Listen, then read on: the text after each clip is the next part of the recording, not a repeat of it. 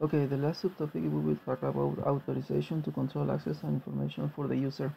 Okay, first of all, what is an authorization control? It's an approach of restricting or restricting system access only to authorized authorized um, users. What does that mean? Uh, okay, perfect. So imagine that this is a user, and um, not because now it's authenticated and it's already on the session. Uh, that means that he can uh, he can access at all the files uh, and all the, the files that the server have obviously no.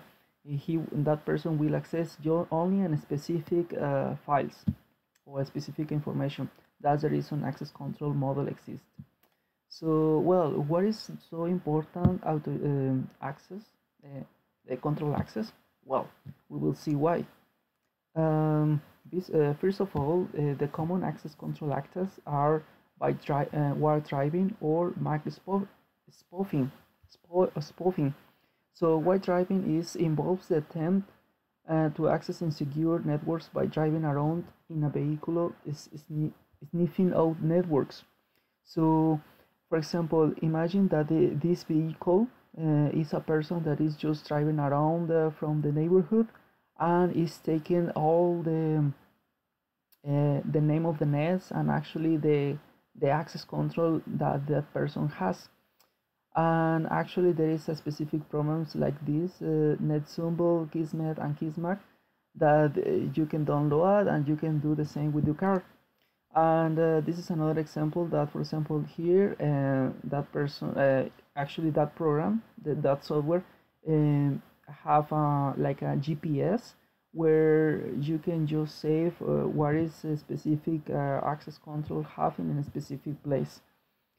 Uh, okay, first of all, I don't want I want to say that wardriving actually is not a is not a crime, uh, but if you access to the information now become uh, now it can be uh, a criminal part. Uh, MAC spoofing uh, say that allows an attacker to use previously mentioned sniffing tools to find and access the networking by using MAC address. So what does that mean?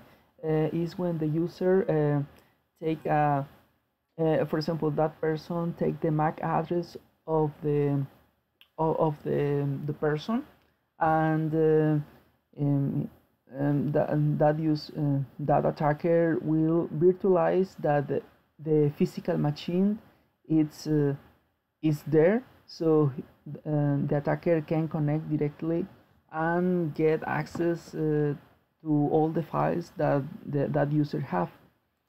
And uh, we'll, we have an example that uh, how the sniffing tools uh, works. Usually it's a person who has a computer inside the car and go around. This is all the tools that we have. I can explain because now for the time uh, but you can see and you can just stop the the video. And this is the part that is a MAC spoofing spoofing that the that the attacker can take the MAC address and with this MAC address can the access to the information of the user.